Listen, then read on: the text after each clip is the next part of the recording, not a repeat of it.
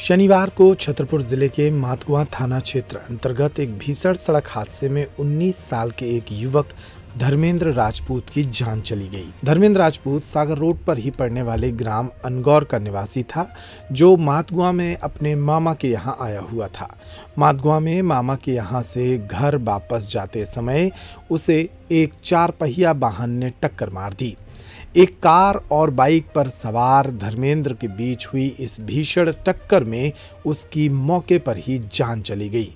धर्मेंद्र जिस वक्त हादसे का शिकार हुआ, उस वक्त उसने हेलमेट नहीं पहन रखा था और उसके सिर में गंभीर चोट आई थी।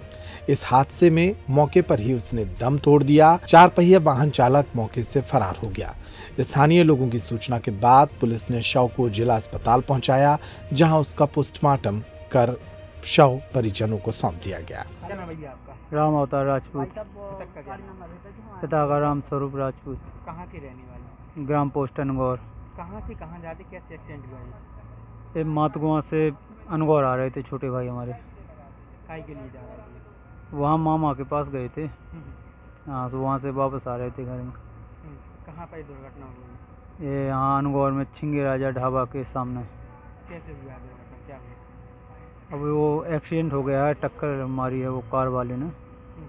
चार पहिया से तो कहाँ ले गए थे इलाज के लिए? यहाँ हम आ, जिला अस्पताल आए छतरपुर यहाँ? अब यहाँ डॉक्टरों ने चेकअप किया है तो बोल रहे थे डेथ हो गई है। आज क्या? क्या सर आज क्या हो रहा है यहाँ पर? यहाँ पीएम हो रहा है पोस्टमार्टम कितनी उम्र थी हाँ लगभग उन्नीस बीस के समथिंग था